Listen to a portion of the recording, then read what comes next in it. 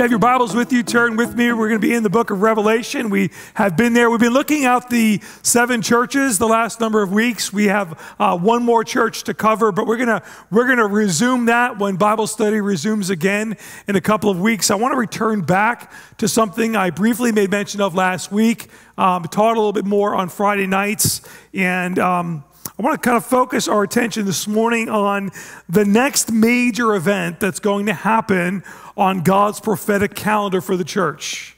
Um, this event could happen at any moment. There is no precursor that is necessary. Nothing needs to take place at any moment uh, for this next event on God's prophetic calendar to take place. I'm speaking of uh, the rapture of the church. Um, I, I, I, titled my message uh, a couple Fridays ago um, called it When's the Believing Leaving? When's the believing leaving? Or when are the saints soaring? Right? When I talk about when is the church leaving the earth. And, and I want to talk a little bit about this, um, this idea of the rapture uh, this morning. Again, I addressed it um, on Friday night. I want to go into a little bit more detail um, or a different angle this morning and encourage you to um, go onto our website and, and um, you, can, you can catch the whole teaching there as well. But uh, we use the word rapture to communicate the, um, the, the catching away that Paul makes reference to in 1 Thessalonians uh, chapter 4, or the, or the taking away of the church that he makes reference to. Now, there are, there are two phases to Christ's coming. Um, there is the rapture of the church, and then there is the second coming of Jesus Christ. Sandwiched between those two events, there's the seven year great tribulation where God will pour out his wrath on the earth.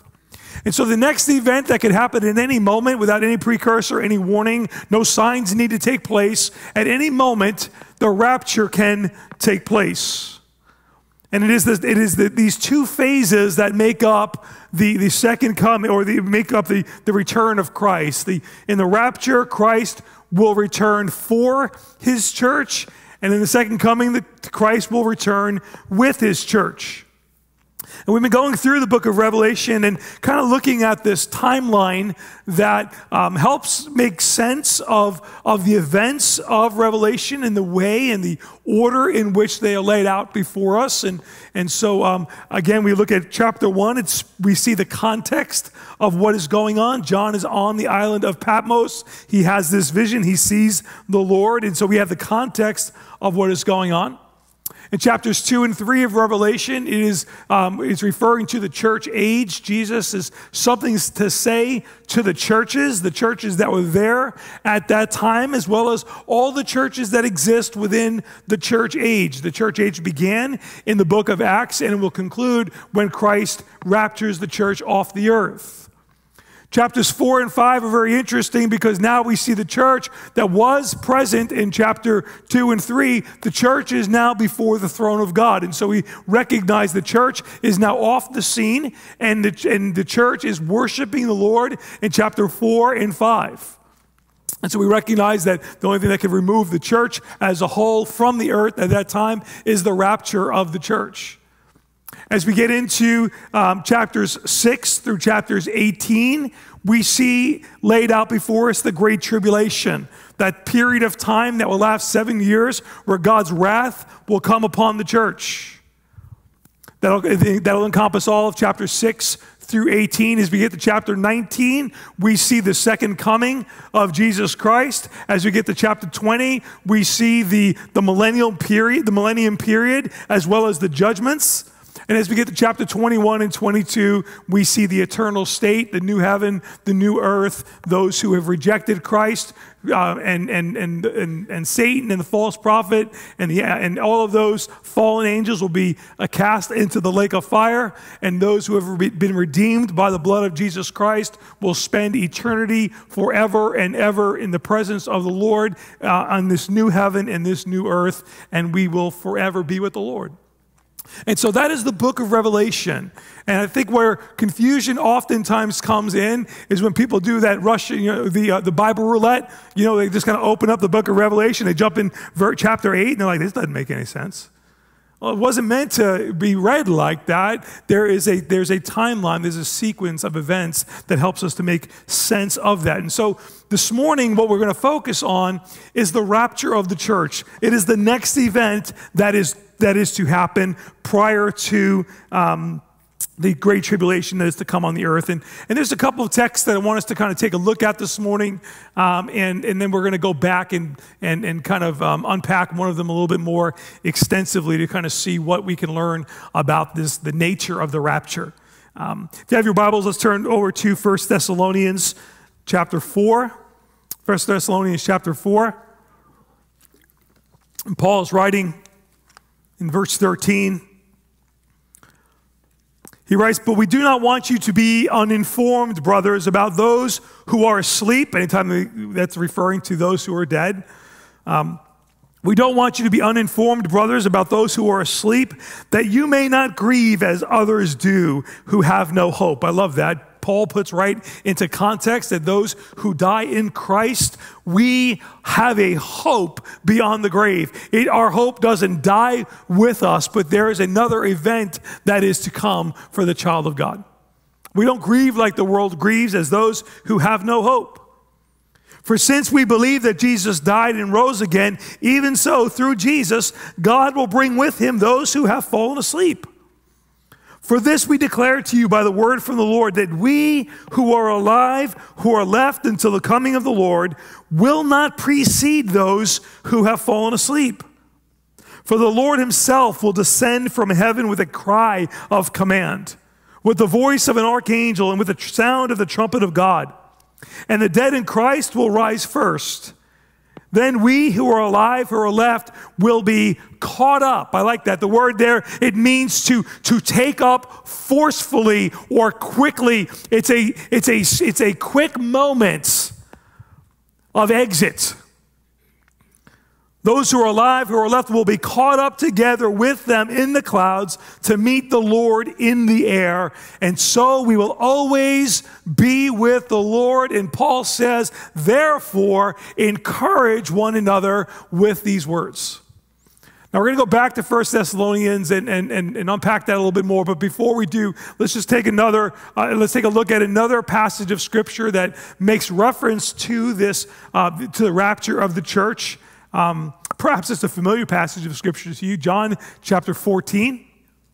Take a look with me at John chapter 14. It is, it is, um, it is perhaps days before Jesus is uh, betrayed um, and handed over and arrested and crucified. Uh, it is at that moment um, where, where you know, Jesus had been talking a lot about soon he was going to be uh, taken away. And, and, he, and he looks at his disciples, and clearly there was uh, concern on their faces as they know that this one that they walked with, right, was soon to be leaving them. And Jesus says to them in John chapter 14 and verse 1 Let not your hearts be troubled. You believe in God, believe also in me. In my Father's house are many rooms. If it were not so, would I have told you that I'm going to prepare a place for you? And if I go and I prepare a place for you, I will come again, and here it is, and I will take you to myself, so that where I am, you may be also. I like that. I'm going and I'm preparing a place for you, and if I go and prepare a place for you, I will come again and I will take you to myself, that where I am, you may be also. It's very interesting here. There is no reference, and when, when we read in Revelation chapter 20 and we consider uh, the second coming of Christ. We recognize that when Christ comes to the earth, he's going to come and he's going to set up his kingdom here on the earth. That's what Revelation chapter 20 talks about. But that's not what John, Jesus is saying in John chapter 14. And here he's saying, and I'm coming and I'm going to take you to myself. There's no mention of this kingdom being set up at this point. As we look also in, um, in Revelation, we also recognize that it is at that time that Christ will bring judgment on the earth during the second coming, and yet there's no record or no mention of that in this passage either. It's this idea that Christ is going to come and take us to be with him forever, so that where I am, you may be also. Isn't that comforting words? Don't you love the heart of Jesus? That what drives Jesus is his love for you and me to take him to himself so that we can be with the Lord forever. In death, we go to him. But in the rapture, he comes to us. And what Jesus is laying out for his disciples in John chapter 14 and for all of us who would read on is if I'm going to prepare a place for you, I'll come back and I will take you to myself. 1 Corinthians chapter 15. 1 Corinthians chapter 15, verse 50. Paul writes, I tell you this, brothers, flesh and blood cannot inherit the kingdom of God, nor does the perishable inherit the imperishable. Behold, I tell you a mystery. In other words, this isn't going to make any sense to you. This is going to be hard for you to wrap your arms around. This is a mystery that will be revealed and make more sense when we're on the other side or when, when what is written intersects with that moment. And then it'd be like, oh, it's no longer a mystery. But we kind of see, uh, uh when we read this, there's, there's, a, there's a mystery that's connected to this. Jesus said, Behold, I tell you a mystery. We shall not all sleep. He's referring to our death. He's saying, we, You shall not all die, but we shall all be changed in a moment, in the twinkling of an eye, at the last trumpet. For the trumpet will sound, and the dead will be raised imperishable, and we shall be changed. For this perishable body must put on the imperishable, and this mortal body must put on immortality. And when the perishable puts on the imperishable, and the mortal puts on immortality, then shall come to pass the saying that is written Death is swallowed up in victory. O death, where is your victory? O death, where is your sting? The sting of death, Paul writes, is sin, and the power of sin is the law. But thanks be to God who gives us the victory through our Lord Jesus Christ. Therefore, because of that, my beloved brothers, because of that, be steadfast, be immovable, always abounding in the work of the Lord, knowing that in the Lord your labor is not in vain. Notice what Paul is saying here. He says that we shall not all sleep. In other words, there's going to be a generation of Christians. We don't know which generation it's going to be. How many hope it's us, but we don't know, right? There's going to be a generation of Christians that don't die. That in the midst of doing their day to day, in the midst of living out their lives on mission, the trumpet's going to sound and Christ is going to call the church to himself. And it's going to be quick. He says, We shall not all sleep, we shall not all die, but we all will be changed. How soon? In a moment, in a twinkling of an eye, at the last trumpet. That's an event that's going to happen very, very quickly. And look what he says here the dead will be raised imperishable, and we shall be changed. Look, for this perishable must put on the imperishable. This mortal must put on immortality. Because the bodies in which we are living in, they're not able to endure all of eternity. How many have realized that you're struggling with it making it through right now? Right? Things, things seem to be breaking down a little bit, right? It's just like you didn't have as much, you know, as much of a kick in your step as you used to have one day. Thinking, I don't know if I'm going to make it another 10, 15 years in this thing. How in the world am I going to make it all throughout eternity? We're going to get a new body. And it's not going to be in decline. It's not going to be weak. It's going to be created to endure all of eternity. This perishable must put on imperishableness. This mortal must put on immortality. And then we'll see the see what it says, death is swallowed up in victory. The death of sin is what's deteriorating our bodies. But we're going to defeat that in Jesus and we're going to live forever in the presence of the Lord. Paul is sending an encouragement bomb to the church and saying, Man, it doesn't stop here for you. There's more yet to come. Therefore, he said, My beloved brethren, be steadfast. Don't let anybody move you from this truth. Don't let circumstances knock you off of your foundation and your hope that you have in Jesus. You be steadfast, you be immovable, always abounding in the work of the Lord, knowing that it's not in vain. Your hope is not in vain. Notice the contrast that we see between the rapture of the faithful and the second coming of Christ. Many would suggest that the, the rapture of the church, or the texts that are used to describe the rapture of the church, and the second coming of Jesus are one and the same. That there is not a rapture of the church, that it seems to them, many of them, to be just too sensationalized as if Jesus coming through the clouds in the second coming is any, you know, less of a feat. But okay, then. Um, but if we if we were to look at the texts that refer to the rapture, uh, we would see that there is a clear distinction uh, or a contrast that is made between the rapture of the faithful and the second coming of Jesus. In first, in First Thessalonians chapter 4, we see that Christ comes for his own. In Revelation chapter 19 and verse 14, it says that Christ will come with his own. Big difference between the two. The only way to come with is at some point they had to get there, right? We see in, when Jesus is talking to his disciples in John chapter 14, he says, it, it says that Jesus says, believers will be taken to the Father's house. But when we think about, when we, when we read about the, the second coming of Christ, we recognize that Christ is going to set up his kingdom right here on this earth. We're going to rule and reign with Jesus on this earth. There won't be a taking away, there'll be a staying period of time. We'll be on this earth, back on this earth, because we'll have been raptured out. In 1 Corinthians chapter 15 and verse 52, we recognize that, that the coming of Christ is only going to be seen by believers. Could you imagine what that's going to be like? For all the world to recognize all of a sudden the church is gone?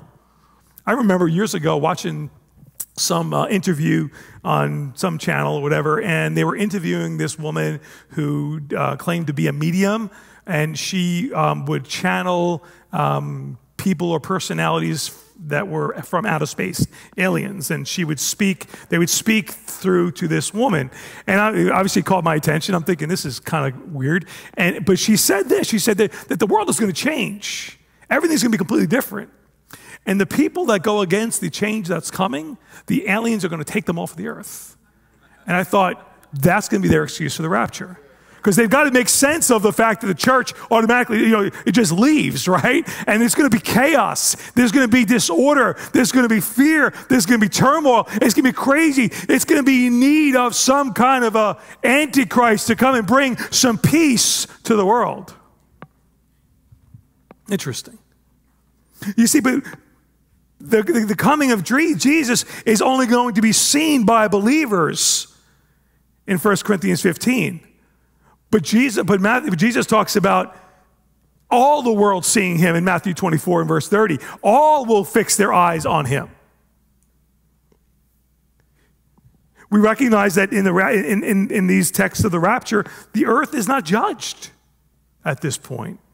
Jesus takes the church and brings them to his Father. And yet, in Revelation chapter 20, verse 4 and 5, we see the earth is clearly judged. And so there's, a, there's these two events that are taking place.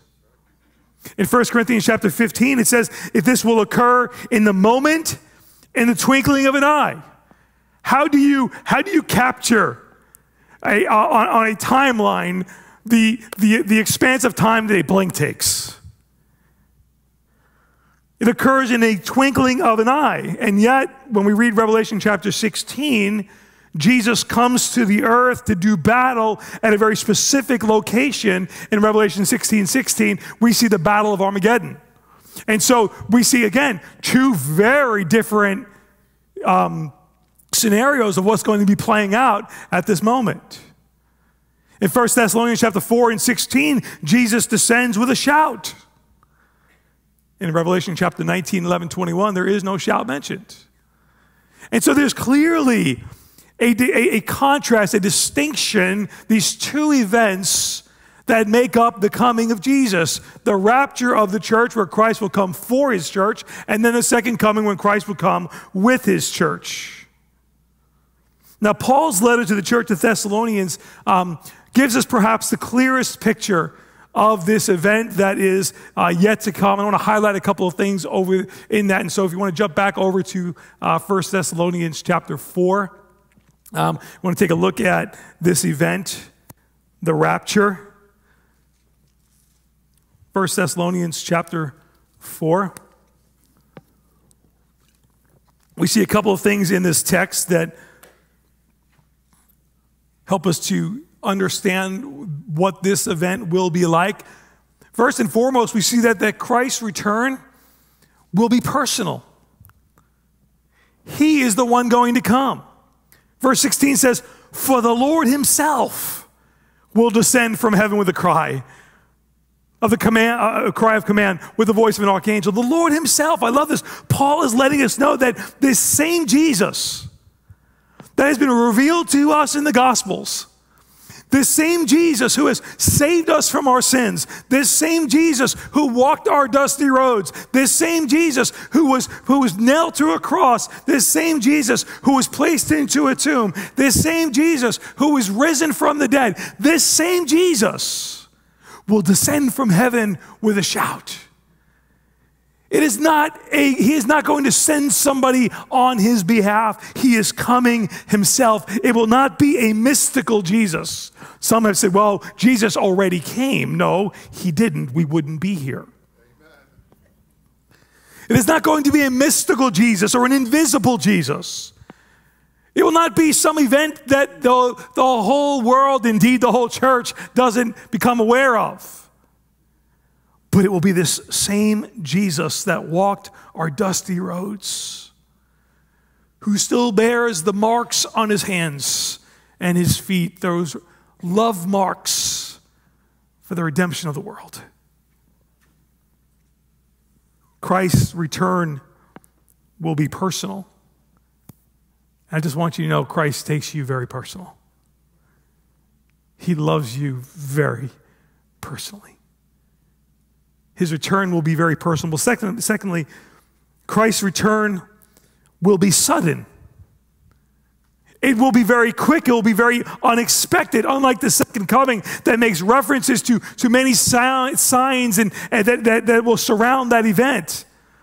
As you read through, through Matthew 23 and 24 and part of 25, we recognize that there are a lot of signs that, that will help us to recognize that, that Christ's second coming is soon. In fact, Jesus said, when you see all these things, look up, your redemption draws nigh. But that wasn't written to us. We won't be here for that event. That's written to the people who came to Christ during the tribulation, who needed some encouragement when it seemed like all hell was breaking loose, and that came to faith during that period of time. And what Jesus is doing is giving very clear signs that when you see all these things, look up, for your redemption draws nigh. But for the rapture, there are no signs. There is nothing to look to. If you're waiting for a sign to say, well, you know, I don't really need to get serious with God until I see A, B, and C happen, listen, let this serve as your sign this morning. Jesus can come at any moment, and we must be ready. Look he says in verse uh, uh, in, chapter 15, verse 52. In a moment, in the twinkling of an eye. Say, oh, come on, Pastor, you're scaring me. I didn't write this. This is what the book says. Let him who has an ear to hear, let him hear what the Spirit says to the churches. May we get hold of the grace of God in this hour that we live where it's available to each and every one of us. Don't put off to tomorrow thinking you're promised tomorrow. Christ's return will be sudden. Thirdly, we see the dead in Christ will rise first. Somebody asked me, and said, wait a minute, so all the people who died in Christ, have they been in the grave all this time? Well, their bodies were, but their spirits were with the Lord. And so there's going to be a reuniting of their, of their body with their spirit. And so if, you're, if you're, you, have got loved ones who have gone on before you, they're not in the grave waiting in, in this like limbo stage. They're certainly not in purgatory, by the way. Uh, there is no such place. Um, and so, where are they? Their spirits are in the presence of the Lord, but their bodies are in the ground. But there'll be a moment where we see it says the dead in Christ will rise first. For this we declare to you by, by a word from the Lord that we who are alive, who are left until the coming of the Lord, will not precede those who have fallen asleep. In other words, they're going to go first and we're going to go second. Age before beauty. They're going to go first and we're going to go second. What an amazing event this is going to be. Think about this all of those who, who died in Christ, as well as those who died prior to Christ's coming, those who trusted in the, the systems and the sacrifices that God put in place for them, as, as, as God as speaks of Andrew, Abraham, who obeyed God and was accounted unto him for righteousness. And so, those who have gone on before us, they will go first, and then we will soon follow. Let's just highlight the miracle of that.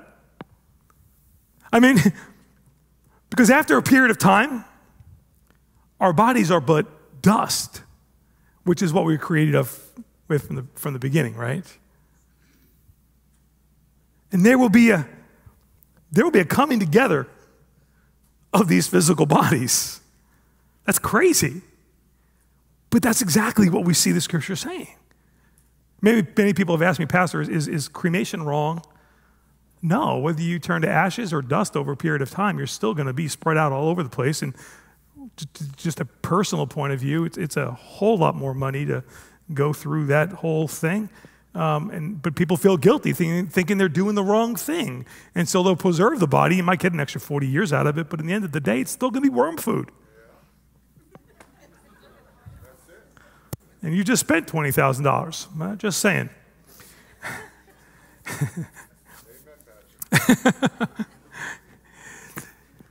what a miracle that's going to be. I figure this, man. If, if, if, I mean, if there's going to be a miracle, man, spread me out all over the world. I want, I want, I want a piece of ash coming from every corner of the earth, right? Let, if we're going to go miracle, let's go big or go home, right? And just let's like get it all together. But it's going to be an incredible event.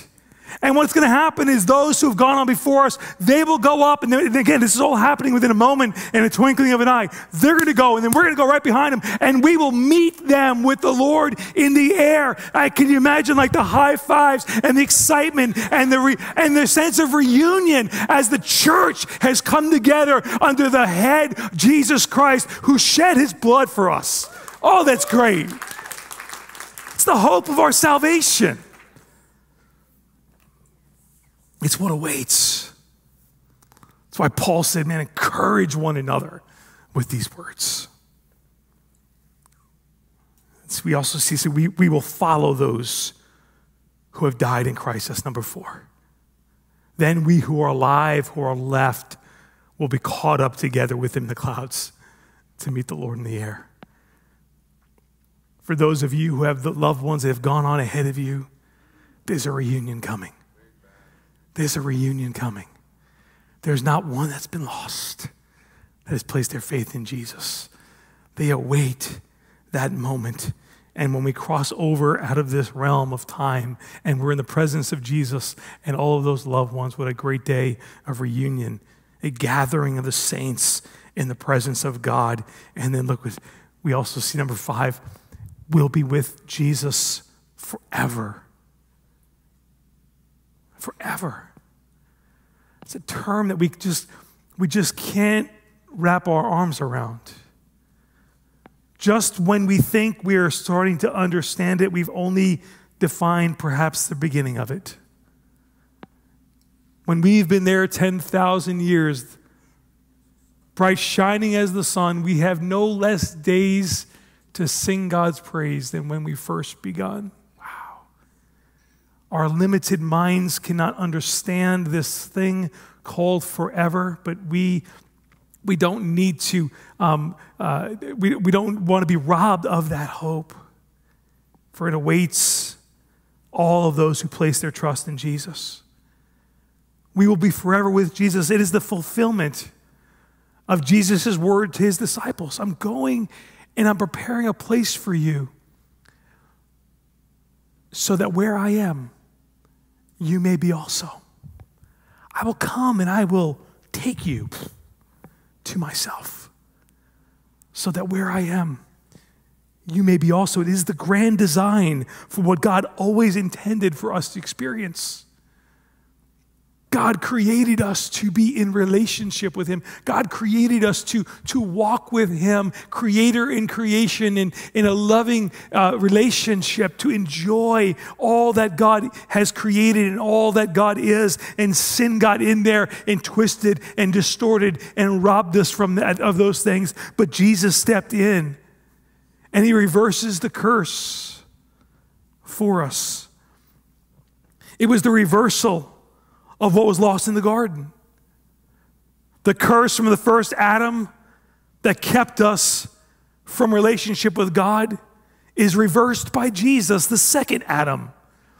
And because of that, we will forever be with the Lord as we turn to Him and recognize that, that He alone is the only means by which I can be saved. It is not my good works, it is not anything I can do. It is everything that He has done for me. And when I abandon everything that I was holding on to to kind of get me into the other side, whether that be works, whether that be a church or some religious system, all of those things are, are going to be null and void. The only thing that's going to get us onto the other side is putting our faith in what Jesus did for us on Calvary. That's why the cross is so monumental in our lives. What happened on Calvary is as significant as what happened in the garden. It is the reversing of the curse so that man might enjoy his creator forever. That's what the psalmist wrote about he says in Psalm 23 Surely goodness and mercy shall follow me all the days of my life, and I will dwell in the house of the Lord forever. Forever. That's what God's created us for. There's much speculation as to whether this rapture is going to happen like, when's it going to happen? Is it going to be a, a pre tribulation rapture? In other words, is the rapture going to happen before the tribulation? Is it going to be mid tribulation rapture? Is it going to happen during the tribulation? Is it going to happen after the tribulation, right? There's always a lot of conversation about those things. And let me just kind of say unapologetically, I hold my conviction from what I see in the Word of God is that it is going to be a pre tribulation rapture, that prior to the church, prior to God's wrath being poured out on the earth, the church is going to be removed off the scene. And let me tell you why I believe that. When mentioning the Great Tribulation, as we look at that period of time from Revelation chapter 6 to chapter 18, this Great Tribulation, 11 times this Great Tribulation is referred to as the wrath of Almighty God directly.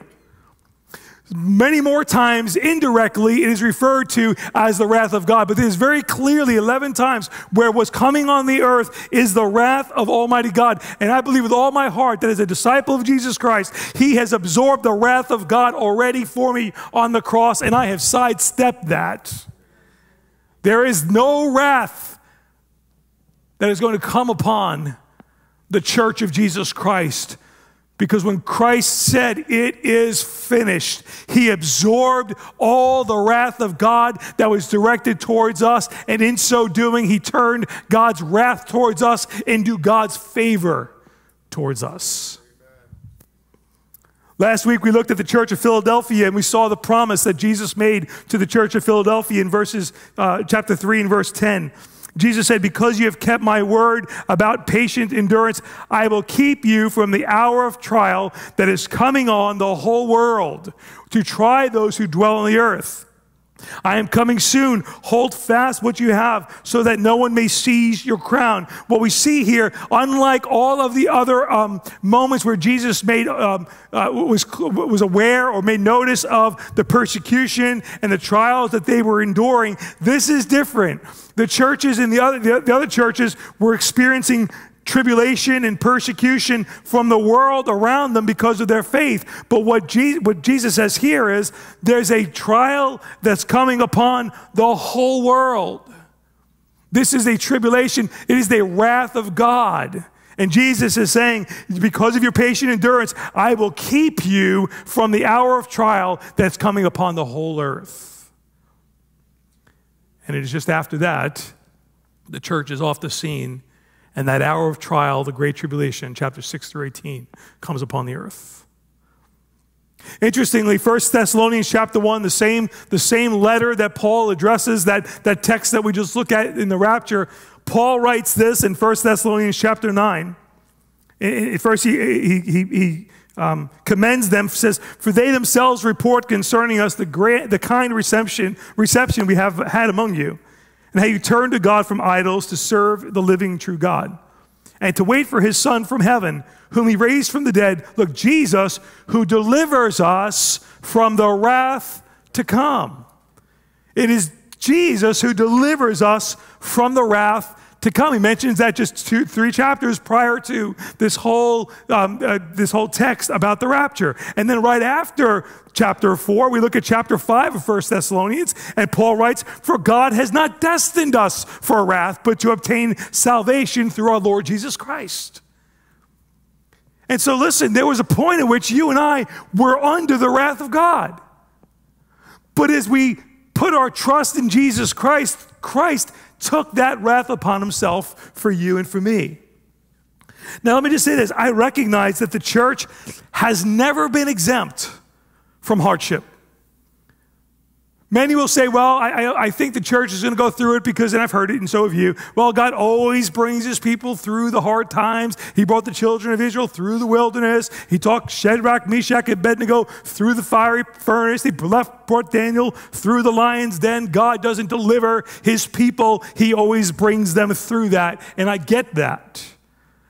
There's always, the church has never been exempt from hardship. The church has never been exempt from persecution. But this event is not describing, this great tribulation is not describing persecution from, without, from, from unbelievers. This event is speaking of the wrath of Almighty God. He is the source of that. And the same way that God's wrath came upon the earth in the days of Noah, God delivered Noah from that moment, didn't he? He didn't bring Noah through that, he spared him from the destruction of the world. In the same way that God's wrath was poured out on Egypt, God gave them a plan. You put the blood on the doorpost, and I will spare you. When I see the blood, I will spare you from the wrath to come. And likewise, for you and me, we've had the blood of Jesus applied to the doorpost of our hearts, and we will be spared from the wrath that is to come.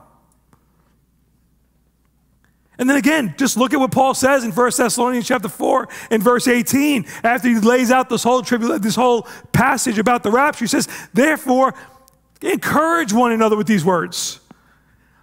I don't know about you, but if it was like if I had to go through the tribulation, there's nothing really very encouraging about that. Read chapter 6 through 18. Let me tell you something. You're not going to find anything very encouraging for the church. Especially because in chapter 6 through 18, you don't even see the church mentioned. You see people who come to faith during that time in Christ. Many of the Jews' eyes will be open, and 144,000 of them will, will, will, respond in faith to Jesus. But I don't take great, it would be not very encouraging to think that I've got to you know, encourage one another with these words. It's going to get really hard. No. Encourage one another with these words because the wrath that is coming upon the world, not from the world, but from God Himself, has been something that is not directed towards His people. It was directed towards His people, but Christ absorbed it all on Himself. It wasn't like God cleaned the slate and said, I won't have, I won't have wrath towards you. No, He poured it all out on His Son. So, what do we do with this?